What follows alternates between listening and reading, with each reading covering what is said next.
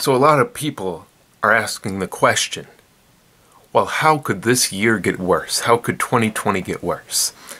But I think this is the wrong question. The question we should be asking is how could this decade get worse? That's why I, I'm, I'm proposing that in honor of the Roaring Twenties, we name this decade the Screaming Twenties. But as for how this decade could get worse, I have a few suggestions. 1816 was a pretty crummy year to be alive. It was considered the year without a summer. Volcanic activity caused plumes of ash to go into the atmosphere. And the temperature of the, of the globe to drop. On June 6, 1816, in Albany, New York, snow fell. I mean, that would be pretty crummy. I mean, at least we're not facing anything like that, right?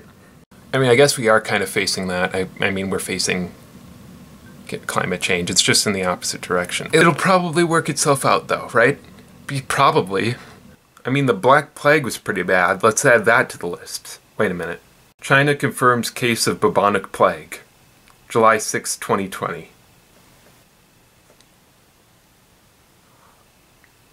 It'll probably be fine, I think.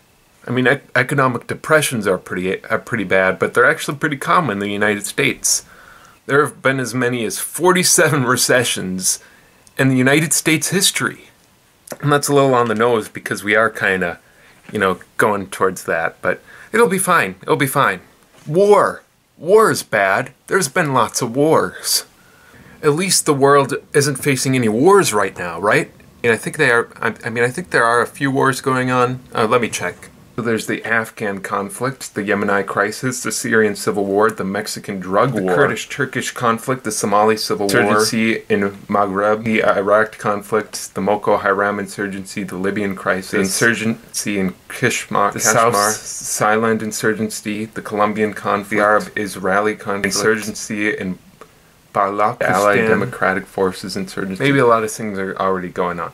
You know, these things have been going on forever, so what, what makes this decade any worse than any of the others? Uh, in conclusion, we'll probably be fine, right? Yeah, probably. Well, that's all I have for today. Thanks for watching.